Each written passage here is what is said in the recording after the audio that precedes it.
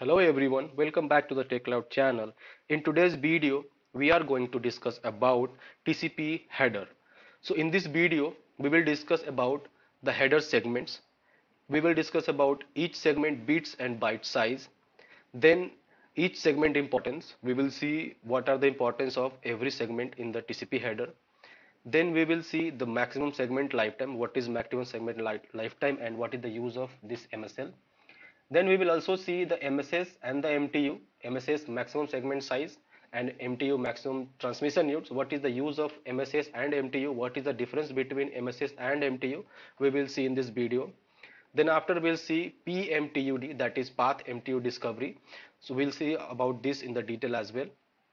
Then after we have TCP retransmission and at the last we'll understand uh, TCP header inside a Wireshark tool we will see how does the TCP header looks like in a Wireshark tool and try to understand that.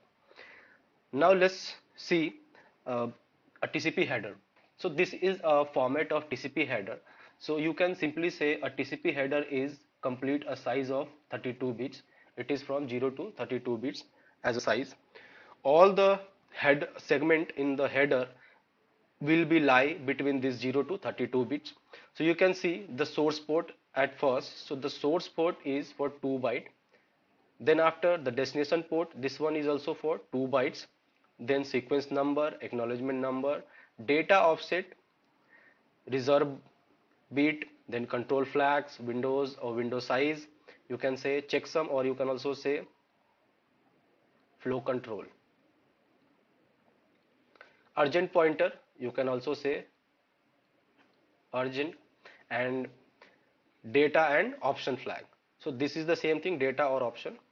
This one is the last one segment in the TCP header.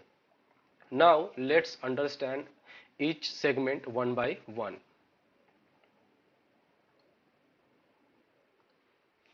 So the first segment we are going to discuss that is source port. As we know source port means this will tell us about a source port of the sender means we have a PC let's call it he is a sender. So this sender will called as also source. And whatever the port like anything port 22 port 443 port 80 or any unidentified port like 16521 so any port that is being used by this source computer that will be called as source port in the TCP header the source port is 16 bit segment. It is a 16 bit segment that tell us about the source port in the header. Next we have destination port. So destination port is the same thing. It tell us about the destination port which is used in the traffic. Let's say for the sender has used a port for the destination that could be anything in between 80 anything that you can say also in between 0 to 6 5 5 3 5 that is the range of port. It is all range of port including uh, unknown and known port well known ports. So now this destination port let us know about what is the port being used for the destination. This destination port segment is also a 16 bit segment 16 bits segment. It just tell us about the destination port. Now let's see the next one. So the next one we have sequence number. This one is a very important segment inside the TCP header. So it is first one it is a 32 bit segment.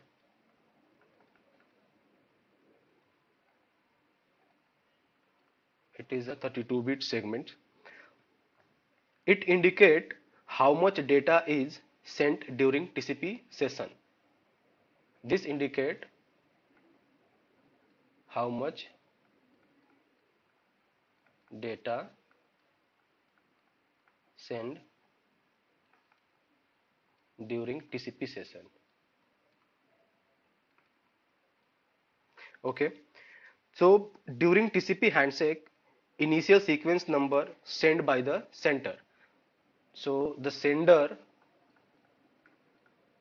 sender sends first or you can say or you can say initial sequence number. Now receiver uses this sequence number to send back the acknowledgement to the sender. So the other important aspect of sequence number is receiver uses the sequence number to reply on acknowledgement. About the sequence number we will see in the detail in the next slide we have something more to discuss. Now let's see the next segment. So the next segment is acknowledgement number. So this one is also another important segment in the TCP header. This one is also a 32 bit segment as like sequence number acknowledgement number is also 32 bit segment in the TCP header. It is used by receiver. Generally this acknowledgement number is used by receiver to request the next TCP segment means here we have a let's call it sender and we have a receiver. So what happened? Sender has sent a SYN packet and on behalf of SYN packet receiver has acknowledged. So once this thing done then after receiver was says that whatever you want to tell me you can tell me now. Means they have the TCP connection now so they can exchange the data. They can discuss about the data so this is why acknowledgement number is being used by the receiver to tell about sharing the next TCP segment. Also so acknowledgement number is calculated with it will be just sequence number plus 1 let's say this sender has sent sequence and the sequence number is sequence number is 1 so what will be the acknowledgement number? 1 plus 1 this will be the acknowledgement number sent by receiver. This is how the acknowledgement number calculated. Now let's see the next data offset. Data offset is another important aspect in the TCP header. What it do? Let's first see the size of it. So this data field size is 4 bit. This one is a 4 bits field or segment you can say. So we also call it header length. Data offset is also sometimes called as header length. Data offset actually indicate about the length of TCP header. This data offset tells us about the length of TCP header. TCP header. So particularly this indicate where the actual data begins. The main work the main importance of data offset is that it indicate us it indicate the user or it indicate the in the traffic that from where the actual traffic started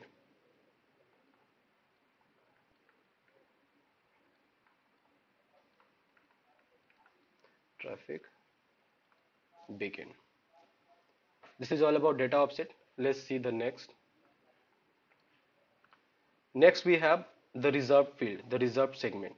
So this reserved segment is nothing but a reserved space a reserved bits for the future reference.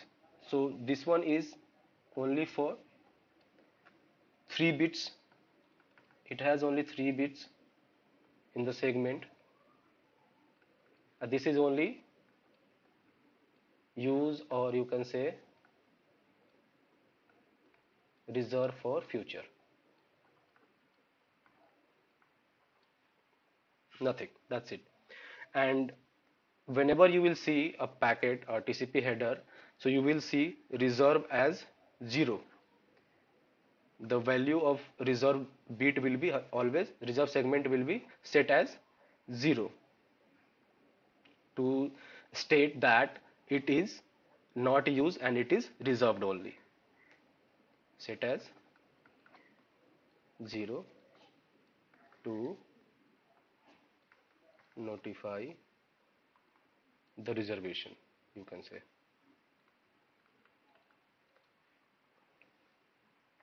Now let's see the next one.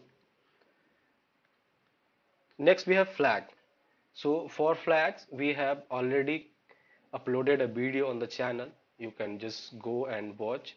Link will be in the description. Now let's see the next one. Window size. So window size is also a 16 bit segment window size you might have found little bit confusing because what is the role of window size is not completely defined. So the role of window size is window size segment specify that how many bytes receiver can receive. This tells us about the receiver. He is the receiver. So this tells us about the capability of receiver that how much bytes receiver can receive simply.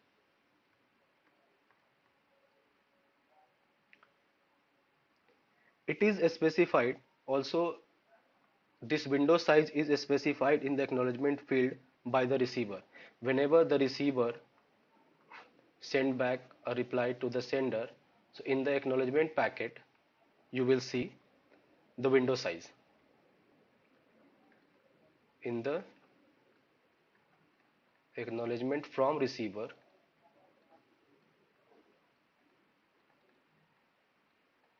Define window size. Means the receiver says to the sender that I can accept only 1 MB or 2 MB or 10 MB of data. That kind of thing. Now let's see the next one next we have checksum. Checksum is also called as flow control you can say. So this checksum is also a 16 bits segment. So checksum generally do error checking work. And for the checksum we have also created a video. So if you want to know more about checksum you can just watch this video. The, the description will be in the link let's see the next one. Urgent pointer. So in the flag video we have discussed about flags. So whenever we use first let me note it down. It is also a 16 bit. The first thing it is a 16 bits segment. So urgent pointer is used when a data sent with urgent flag in the flag segment. If there is a like this. Urg urge means urgent. Urgent flag. If there is a urgent flag in the packet in that case in that case it will use urgent pointer. Means the urgent pointer segment will be on or set to on. You can say then this will be set to on or like this one. That particular so actually this particularly indicate where the urgent data end and need to process as soon as possible. We have a sender and we have a receiver. So what happened? When a packet sent getting sent to the destination. Some of the packet getting sent and this packet need to be processed. Some other packet need to be processed immediately. So this packet will be used as used with urgent flag and without waiting in the queue this packet will directly send to the destination. And to indicate this the traffic the packet will set on the urgent pointer only okay so this is the work of urgent pointer in the TCP field in the TCP header. Now let's see the other option. Option or you can say data field. In this field you will see or the user or in the traffic you will see the original data the actual data reside in the optional field or data field. So first thing it could be it could be between 0 to 32 bit. First so you can call it it is a 0 to 32 bit segment. It is the end segment of TCP header. That's why the bit value can be different. Because this carry out the data this carry out the traffic data. So this is why it could be between 0 to 32 bit. It is not defined that it will be only 16 or 18 or 20 it could be anything between 0 to 32 and the most important option field carry out that is it's three kinds of data. It three kinds of works it do basically. So it do the first thing that is called as option kind or you can say option type means what kind of data or what type of data. Second length. Option length.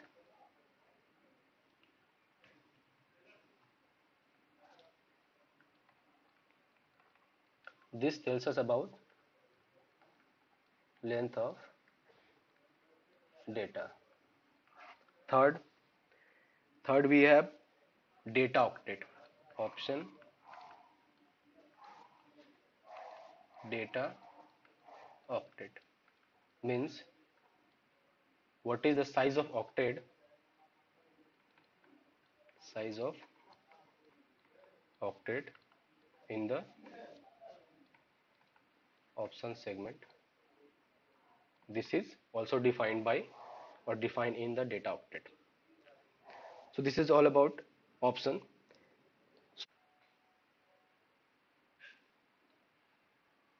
So inside the option field there is some other more important aspect that we are going to discuss.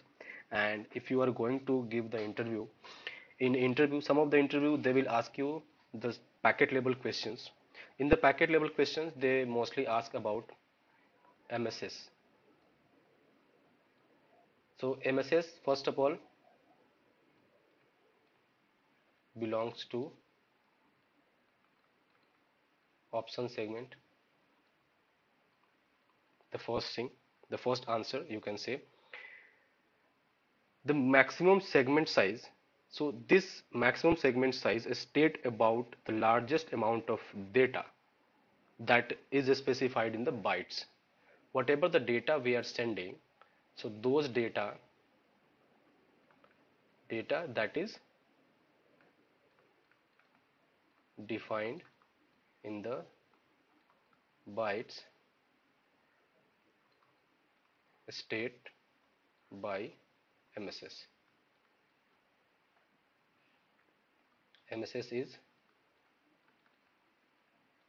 maximum segment size.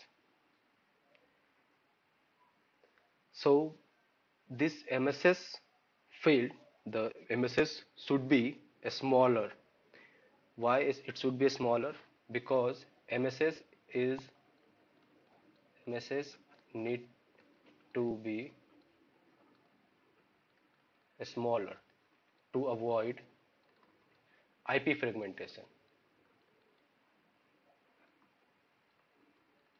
IP fragmentation where our big size data breaks into smaller pieces to pass through the traffic or pass through the interface. Also this MSS is the default value of MSS is 536 536 536 you can say default value of a MSS and to calculate the MSS we need some of the information like so if we say MSS is equal to MTU minus IP header. Whenever someone asks you that what is MSS against MTU, so MSS is bigger means MSS is equal to MTU minus IP header or in some cases IPsec header if it is. So this is all about MSS. MSS belongs to the option field and it is being used to define the state of the data in the bytes. It is called as MSS maximum segment size.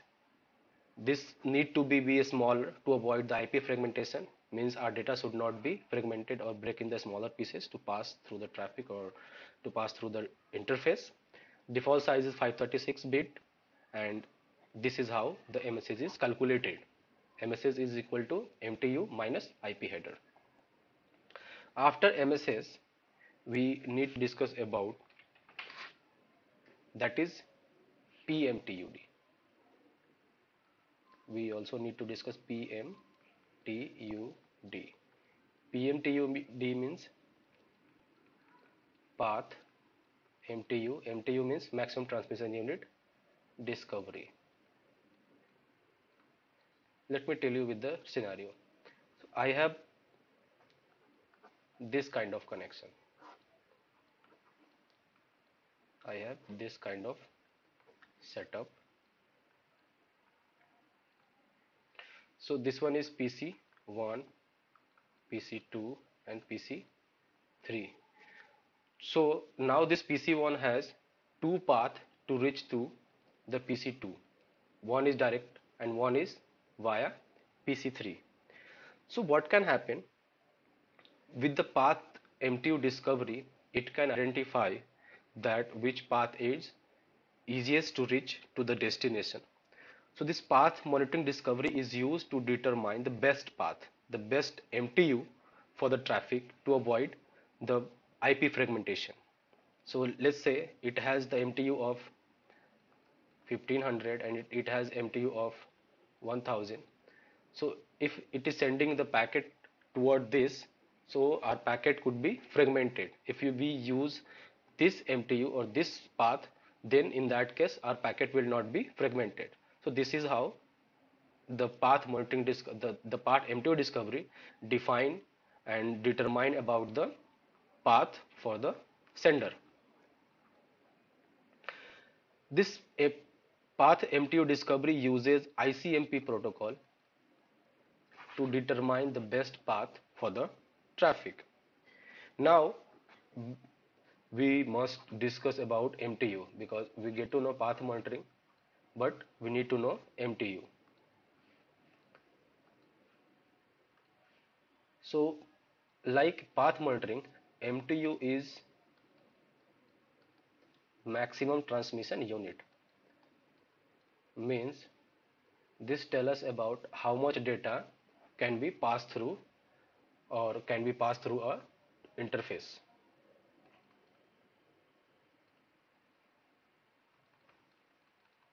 Maximum transmission unit. The default value of MTU is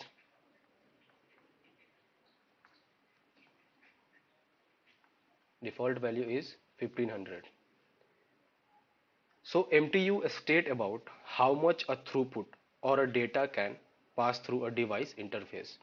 We have a device, this one is its, let's call it NIC or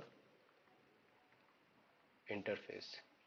So this MTU, maximum transmission unit, defines that how much data this interface can handle or this interface can through throughput of the interface. This is the basic of MTU. After MTU, the another important aspect we need to discuss that is the part of sequence number that is MSL. MSL is maximum segment lifetime.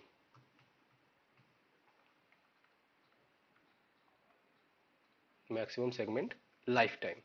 So MSL state about the longest time in seconds. It state about longest time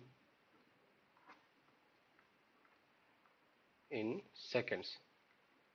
The M MSL is calculated in seconds only so this tells us about the longest time in second of a TCP segment that can be available in the network.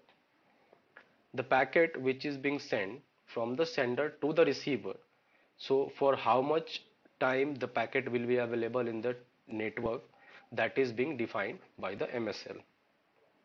The default MSL value is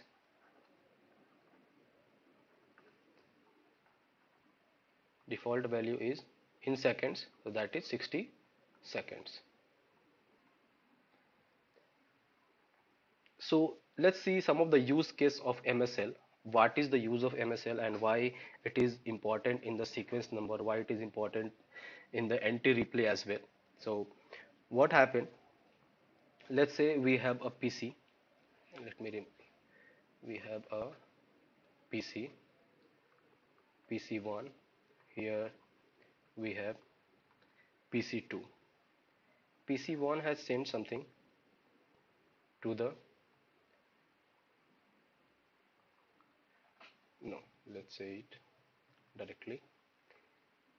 PC has sent something to the PC2 PC1 sent something to PC2 so what happened? In any case or by the any circumstances the traffic got broke or you can say the traffic got dropped out. So after the traffic will be dropped out PC1 will wait till its MSL then it reinitiate the traffic. What it do? It will wait. It will wait for 60 seconds to reinitiate the traffic again. So this one is the first use case of MSL now how this is important with sequence number? So this MSL avoid to be duplicate sequence number. So let's say another case. We have a PC and this one is PC2 again PC1 and PC2 and again the same way the traffic got break or drop. Traffic is dropped by the any reason. Now the PC1 again retransmit the data with the same sequence number. Means the first sequence number it send that could be anything. Let's call it 1 the first sequence number is 1 and the traffic got dropped because of any reason. Now the traffic will be reinitiated and it will again send the sequence number with 1 so what will happen in this case? So if the sender if the PC1 send the traffic again or retransmit the data again with the same sequence number that breach the accountability of the sequence number in TCP segment. How it, it is breaching? Because TCP does not retransmit the same sequence number or you can say the duplicate sequence number as the retransmit packet will be count as duplicate. So because of this the second packet will be count as duplicate and drop by the receiver again. Drop by the receiver again. So now in that case this PC1 anyhow have to send a new sequence number. Like anything 2 3 4 anything. So this PC1 have to send any new sequence number to connect with the receiver or to connect with the PC1 PC2 sorry so this is how it avoid the duplicate connection sequence number. There could not be any duplicate sequence number. Also this mechanism you can see in the IPsec VPN that is called as NT replay. NT replay also do the same thing. It does not retransmit or does not process the same sequence number data again or same sequence number session again duplicate session it does not process the duplicate session in simple words. So this is all about the TCP header. Now we are going to see a actual image of TCP header. So in this page you can see there is the actual image of TCP header and you just need to focus on the red boxes. In the red boxes you will see the source port that is 41417 now you will see the destination port and the destination port is 23 then after so this one is first of all understand this one is a SYN packet. So in the SYN packet you will not see some of the things like that. So let's see the sequence numbers. See it is it does not have sequence number because it is a SYN packet. It is set to 0 if there is if the packet is not SYN packet any other packet then it will have a sequence number. Acknowledgement number is also 0 because it is a SYN packet. Header length is 24 byte. Means the data offset is 24 bytes. Now you can see there is a flag set. So in reserve set that is set to 0 reserve is 0 nonce about the flags we have discussed this one is non flag it is also not set. Congestion window CWR flag is not set also echo flag flag is not set also. All of them are 0 urgent acknowledge push reset. Everything is 0 except this SYN. Because this is a SYN packet. That's why the value of SYN is 1 means it is set to on. Now you can see window size value 4128 means this is the size that receiver can receiver can receive. Means the capability of receiver next one is checksum. You can see the checksum. So it is the validation is disabled. Why it is disabled? Because it is a SYN packet. It does not has process any checksum in between. It does not have process any hops so that's why it is saying good and bad checksum as false. Next one is urgent pointer. So as we discussed if the packet is not a urgent packet in that case the urgent pointer will be set to 0 if the packet is set to urgent or with the urgent flag. In that case only the urgent pointer will be set to 1 in the option field you can see we just now discussed MSS belong to option field the maximum segment size.